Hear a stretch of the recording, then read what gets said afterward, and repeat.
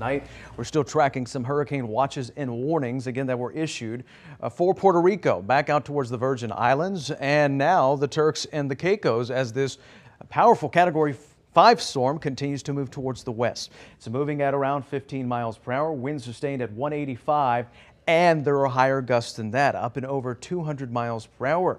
Latest track again, there's really not been a big change with this.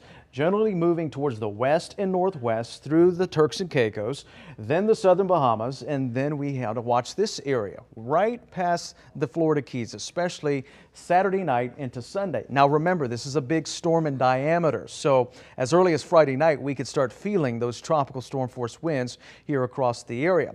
Low wind shear again with the models still spread out.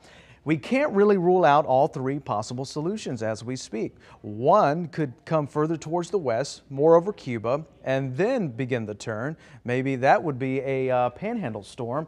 The majority are uh, have a consensus to start to curve before it gets to the Keys and move over South Florida, and some still hinting at the fact that it could be making an early turn. So again, there's three different scenarios moving forward.